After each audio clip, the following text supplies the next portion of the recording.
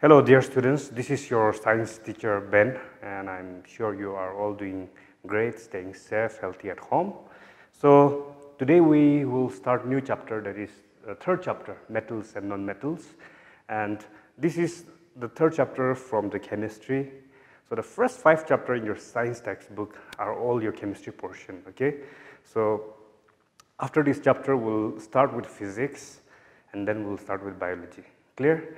So if uh, metals and non-metals, this is just a repetition of the first two chapter, clear students? So in this chapter, what we will learn? First, we'll learn the physical and chemical properties. Physical and chemical properties for both metals and metals. Clear? It's very important, like even in the acid and base chapter, first we started with physical and chemical properties of acid and base. So same here, we are uh, going to study like physical and chemical properties in details. Next thing, we'll study about the reaction between metals and non-metals, okay? Between metals and non-metals. The third thing, what we're going to study here is we are going to study their occurrence. How do we get metals? Clear? And there are many steps. The metals that we get now in the market is not what we get like naturally. Clear? It has to go many steps, refining, cleaning, everything. So we'll study everything, occurrence, concentration, how they are concentrated like to get the final product clear? And the last last part of this chapter will will study corrosion. This corrosion we have studied in the first chapter so we'll just i'll just give you important points and examples because we have covered this corrosion in our first chapter clear? So we'll start with physical and chemical properties to begin with clear students for both metals and non-metals. Now uh, we have 118 elements in the modern periodic table, okay? So out of that 118 elements, uh, it is divided into metals and non-metals. We have metals and non-metals. And also we have a third one that is metalloids, okay? Metalloids. Metalloids, metalloids are those that exhibit both uh, metal non-metal behavior. Clear? Okay, so we'll start with the physical properties for metal. For first, we'll study for metals. Now, have you ever heard about malleability? Malleability is, our, uh, malleability is a property where metal, metals can be beaten okay, into thin sheets. Let's give an example. Uh, a sulfur powder, a sulfur powder, we will not consider that as a metal. So if you just hammer it, if you just beat it, we wouldn't get a thin sheet. But let's say example iron nail or a copper wire. If you just beat it, if you hammer it, then it will turn into a thin sheet. So metal has that property to, uh, to become to get malleable. Okay. So the first one is most of the metals have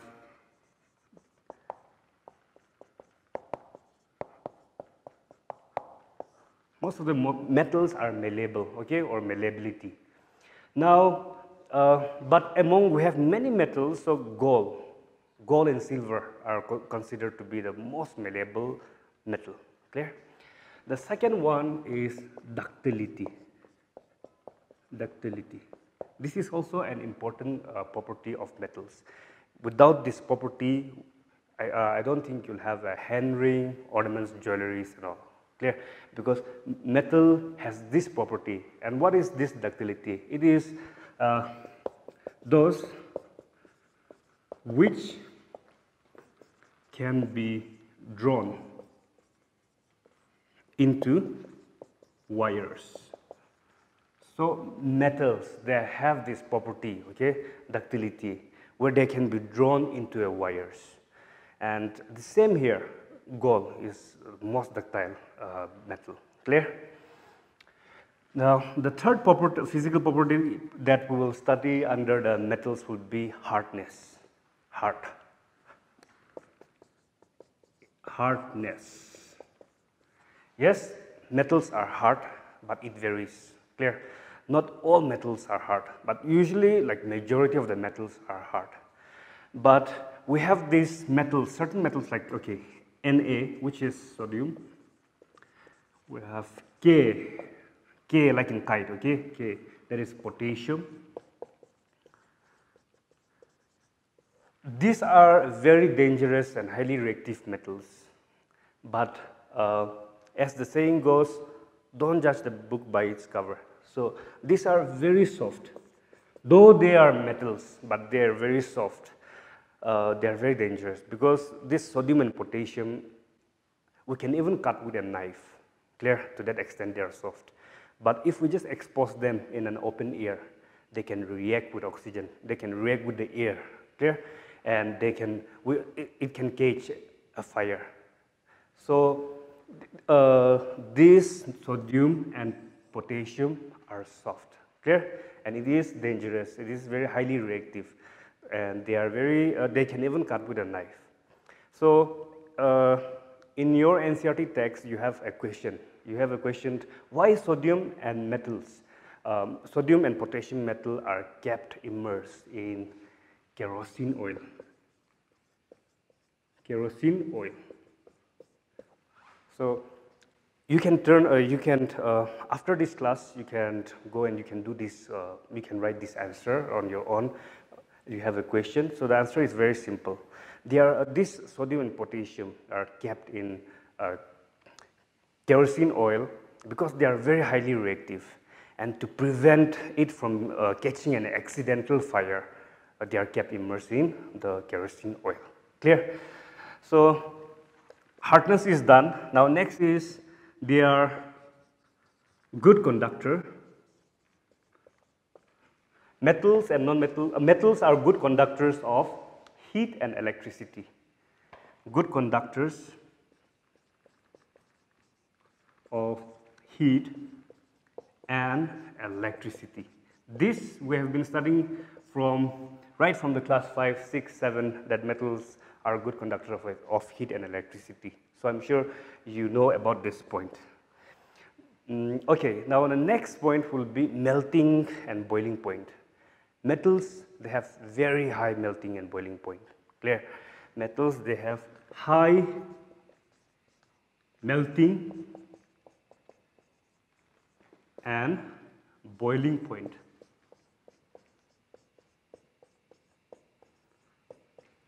Now, one example uh, I want to give is like among, yes, they have high melting and boiling point, but among the metals, tungsten, okay? You have, you just keep this word in mind, T-U-N-G-S-T-E-N. Tungsten is, uh, tungsten has like the highest melting and boiling point among all the metals. Why? Because example is say like electric bulb. You just uh, you put, you switch on and then you keep keep it for 9, 10 or 11 hours or you keep it for more hours. But uh, the melt since the melting point is high, the melt, uh, we don't get to see any dangerous thing from there. Clear? So this is the highest melting point. And okay, going back to this conductor of heat among the metals, copper has the copper has the, the good conductor of heat. Okay. Okay. So please note this point down. The next point for I'll just continue here. Clear? The next physical property for metals would be luster. Luster is nothing but it is uh, the other word for shiny. Shiny, okay, shiny. Metals are shiny. Now, the other properties for metals would be uh, metals, they are sonorous. Sonorous. Sonorous means it is related with sound. So metals, if, you, if someone uh, something hits a metal, you get a sound. So example, school bell, church bell, you are, you are all familiar with that. So, Okay, so let's keep it simple. These are the important properties of metals. You note it down and write the examples as well. Clear? Next, we'll study about the chemical properties for metals. After that, we'll go for physical and chemical properties for non-metals. So note it down. Okay, student, the next uh, topic is chemical properties. Chemical properties. Chemical properties of metals. Now, if we are studying about the metals, it is very important to know the chemical properties of metals. How will they react? Clear? How will they react with the water, uh, air, oxygen, water, acids, those stuffs? Clear? So first, let's study um, what result we will get if metal reacts with air, okay, oxygen. So let's keep it simple. I'm just writing in a very simple form. So the first one would be reaction with air, okay, or oxygen. So what would the what result would we get from here? Now let's uh, write the common one. We have been using sodium uh, for many examples. Now let's use aluminum here, Al. Oxygen is O2. So what we'll get?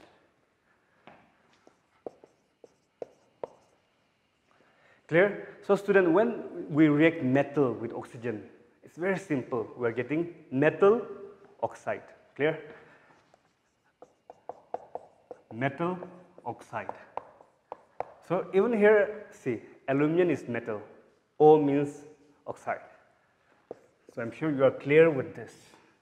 Now, we also have, we can write copper and we have oxygen this simply we can write copper oxide. Clear?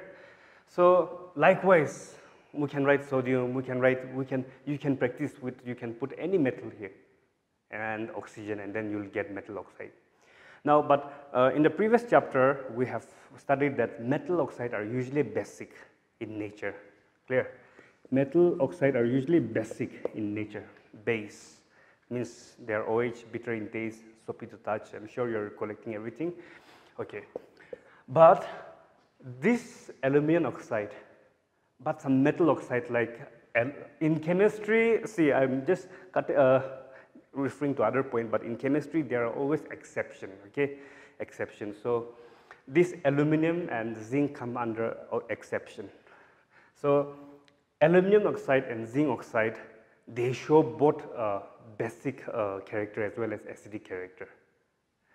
Now, usually metal oxide should be basic in nature, but aluminum oxide and zinc oxide, they act, okay? They can act like an acid, they can act like a base.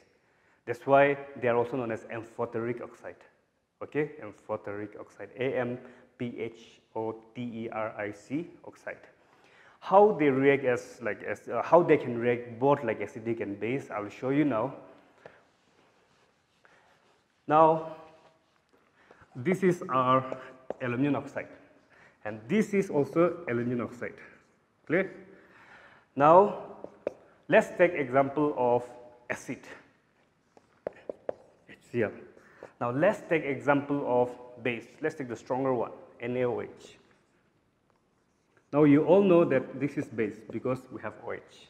This is acid because we have H. And this is also one of the strongest acid, dangerous. Now this is acid, now this is base.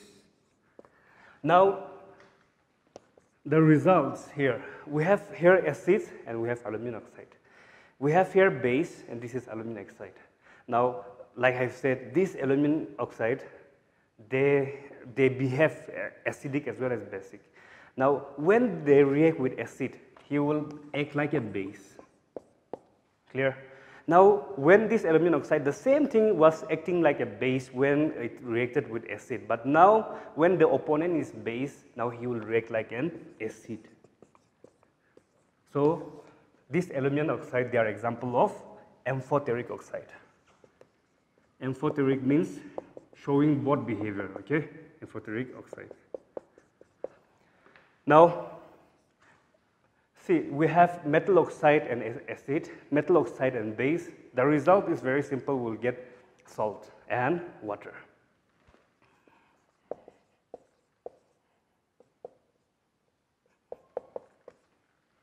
Clear?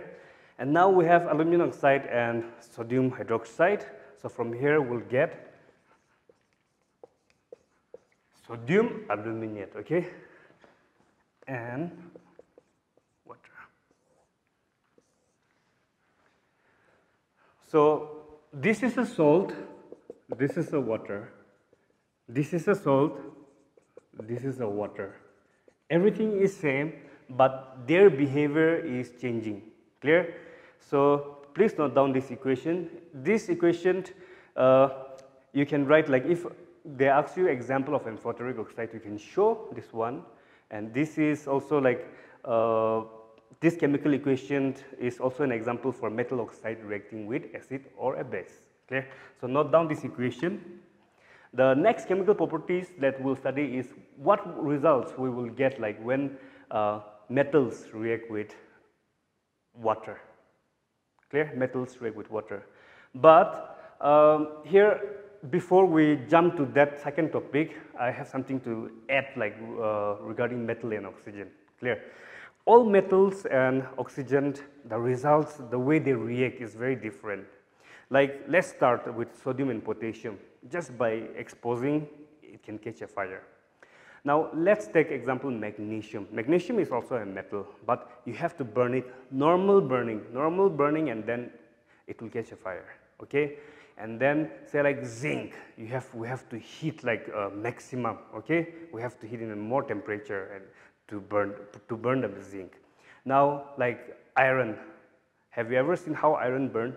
It burns in the form of a fillings, clear? Okay, okay and then uh, we have uh, silver. Silver does not react with uh, oxygen at all. So all metals, the way they react with the air, the oxygen surrounding is very different. It's, they also have a ranking, that the reactivity order. Clear? So next uh, chemical property will be metal reacting with water. Dear students, next uh, chemical property is metal reacting with water. This we have uh, the same uh, chemical equation we have done many times in our uh, previous class, last two classes. So whenever metal react with water, we will get like oxide, metal oxide and hydrogen gas will be liberated, clear? But we have like, uh, like let's say for sodium, if we react it with water, we will get uh, metal hydroxide that is NaOH and hydrogen gas will be liber liberated and along with it a large amount of heat will be released which is uh, this is also like very dangerous because the reaction where we get like a large amount of heat is released is also an example of exothermic re, uh, reaction which we have studied in our first chapter releasing heat exothermic absorbing heat endothermic i'm sure you are familiar with those reactions now. Okay, so the next thing we'll study with uh, the next chemical property we are going to study is metal reacting with acid. Clear? So this equation also we have, it, I'm, I'm, sure you are familiar because we have studied in our first, uh, in our second chapter in our acid base. So let's, let's take any metal here. Let's take uh, we can take zinc for a change. Let's take HCl. Then we'll get zinc chloride and hydrogen gas. So metal reacts with acid to give salt and hydrogen gas. This example I have uh, already said that if you flushed an acid in a metal, then one thing for sure you're going to observe is hydrogen gas coming out and uh, the salt that you will get. Okay, so the chemical properties for metals is over and I would also request you to uh, refer the textbook, practice the chemical equation. Clear? The next, now we'll go to physical property of non-metals. We have completed the physical property and chemical properties of metals. Now, next is for non-metals. So, physical properties of non-metals. Okay, for physical properties of non-metal, non-metals, they can exist and we can get in a solid, liquid or gas. In any form we can get non-metals, clear? But there is an exception because diamond, diamond is also a non-metal, but diamond being an allotrope of carbon. Diamond is an allotrope of carbon. This, okay, uh, allotropes of carbon and all, we'll study details in the fourth chapter, carbon and its compound, clear? So, diamond is an allotrope of carbon and it is, it falls under a non-metals. But diamond is the hardest substance known. The hardest substance known. Clear? Okay. Now, let's talk about uh, brittleness. Brittleness. B R I T T L E N E S S. So non-metals are brittle in nature. Where brittle means, let's take example of chocolate. Chocolate, you can just break it into pieces. So non-metals, they have this property that is brittleness. Clear? Now, Non-metals, they are bad conductor of uh, the electricity, heat and electricity. They are bad conductors of heat and electricity.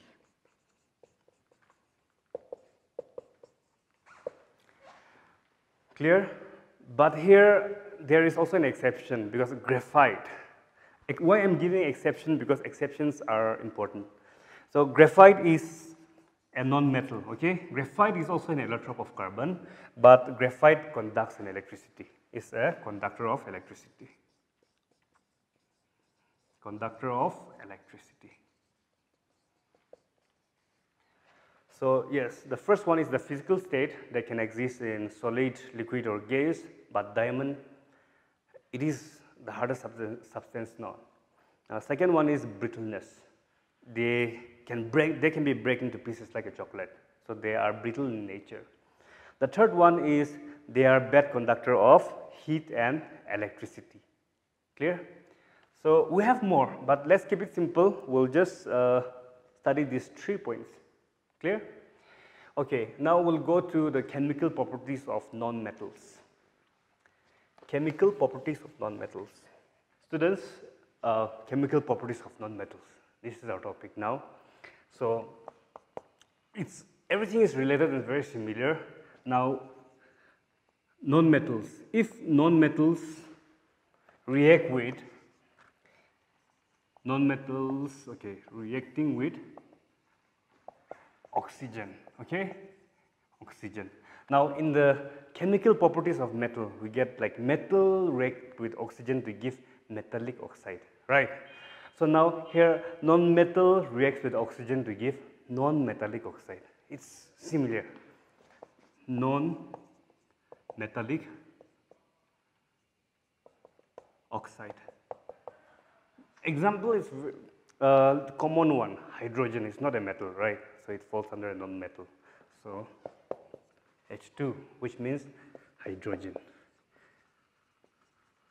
Now oxygen that's the air so O2 we get H2O done. So this is a neutral this is a neutral non-metallic oxide clear. So uh, we can write carbon, oxygen that will be another acidic oxide so everything with non-metals and oxygen will get non-metallic oxide, very simple, clear? Now, uh, the second property would be reaction with acid. Now, non-metals here, just you can write it, I will say, explain, non-metals does not react with uh, dilute acid, clear? Because non-metal, non-metal, they cannot like, uh, they don't uh, lose an electron. Okay, they are the receiver uh, non-metals. So non-metals does not react with dilute acid. And the last chemical property for non-metals would be they also show displacement reaction. Non-metals can also show displacement reaction and I'll show you one example for that. Displacement reaction as we have discussed earlier, the same concept applies here. Now let's take chlorine. Okay, no, I'll write here. Non-metals, non-metals show displacement.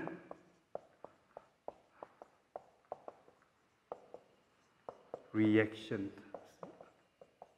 Reaction. I'm writing this one in bold letter. Okay. Now let's take chlorine. And now let's take bromide NaBr so this is chlorine and this is sodium bromide now chlorine can displace bromide.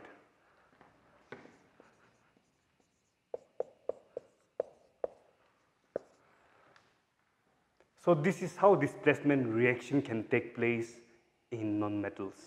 Since this is non-metal, clear?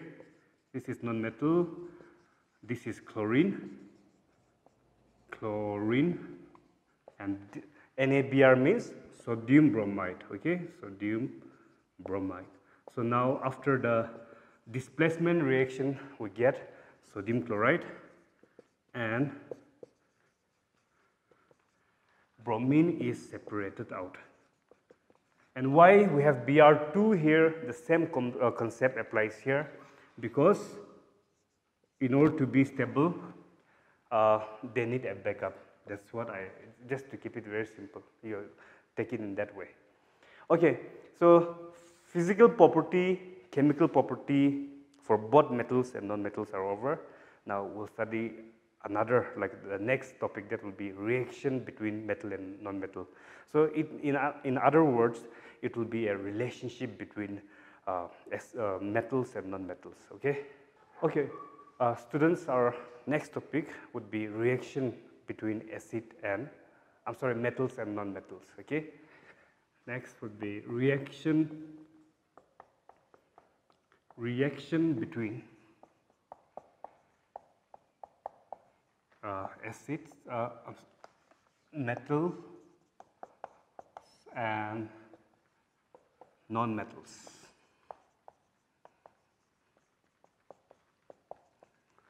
Okay, students, now to start this, I want to show you something, NaCl or H2O or anything. Like I said in the beginning, we have 118 elements, right? And what about this? Sodium is also an, uh, an element in a periodic table. Sodium is different. Now chlorine is also different, right? But why do we say sodium chloride? Because they are bonded. Because this is a compound, right? This is a compound salt. Now we have water. What makes water? We have two hydrogen and one oxygen combined together here. That means there is a bond. Clear, there is a bond. Even here, there is a bond. If I say copper sulfate, there is a bond. Between copper, we have sulfur here, we have four oxygen. So there is a bond, okay, that binds them together. So they become one compound. So we have two types of bond in chemistry. And we, the bond that we are going to study now here is ionic bond. And the second type of bond is covalent bond, which is very important for uh, the next from, from your next chapter, carbon and its compound. So, so you write down the definition. We have two types of bond. So the first one is ionic bond, ionic, ionic bond. The other word for ionic bond is electrovalent bond, okay? Electrovalent bond electrovalent bond. Now the second type of bond is covalent bond. Is covalent bond. So what is the difference between them? The difference is uh, bond formed by transferring of electron. So this is bond formed by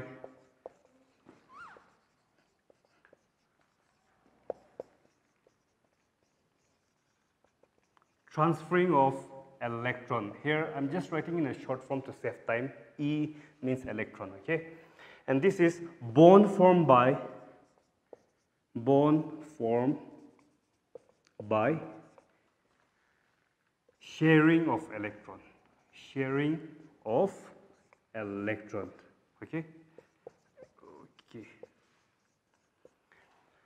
So the, the main difference between them is ionic. Ionic means it's to do with plus and minus, right student?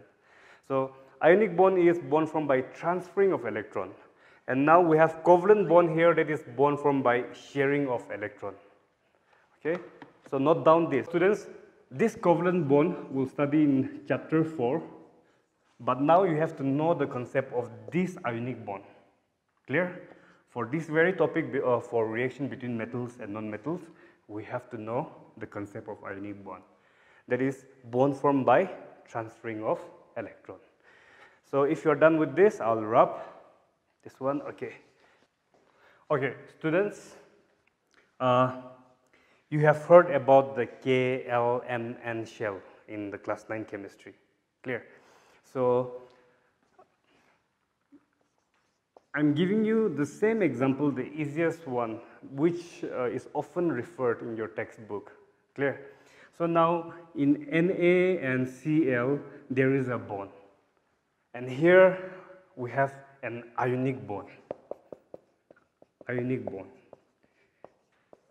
And the, the main thing is they all try to be, all the elements, okay, all the elements in the periodic table, they, have one goal. The goal is to become stable. The goal is to become stable. And the, we, we also have the most stable group in the periodic table. That is the group 18. Clear? Group 18. So the stable number, the step, okay, this one, I'm just giving a brief idea today. I'll give you home assignment as well to study the periodic table, to go through it. And I'm just, uh, I'll just give you a very short, see, to get familiar with this bond, so that in next class when we start, it won't be a new thing for you, clear? So this is an ionic bond. The the most stable group is group 18. So we have the stable number is 8 or 2, okay? 2 or 8 is the stable number. 2 or 8 is the goal. So now for NaCl, we know that sodium, the atomic number is 11. Keep this in mind. If you see the periodic table in your textbook, you'll see that sodium has an atomic number 11 and we have chlorine, the atomic number is 17. Clear? So I'm sure you, you are familiar with writing the electro electronic configuration. Okay? So see 281, 287. See? See, so, uh, sodium, the configuration is this one. Chlorine, the configuration, electronic configuration is this one. Now 281 makes 11, 287 makes 17, right? But they, they are not stable and everyone their goal is to become stable. So now uh, the outermost shell, when I say outermost shell, this would be the outermost shell. Just take example of the outermost building, the outermost uh, floor, clear? So this is the outermost shell so now for sodium to become stable, he needs either, see, since I said like 8 is the goal, right? Sodium in the outermost shell, it has only 1. So sodium needs either, uh, sodium needs to throw this 1. Throwing 1 is easier for him to get 8. Clear? And then chlorine needs 1 to become an 8 because 8 is a number. So chlorine needs 1, sodium needs to throw 1, so they transfer. And this is a very interesting topic if you understand the concept. So today I'll leave you with uh, some home assignment. That is to go through the periodic table as well and write this electronic configuration and I, and then get familiar with the, uh, with the outermost shell, which one is called outermost shell, get familiar with all the K, L, M, and the whatever basic knowledge you have learned, like uh, the whatever you have learned in class 9, everything we are going to apply here. So for today, please uh, continue, go through the notes, whatever we have studied today, because if you don't understand what, if you don't like uh, get what we are doing today, next class it will be difficult for you. So we are, uh, I'll wind up from here and we'll continue in the next class. Thank you so much.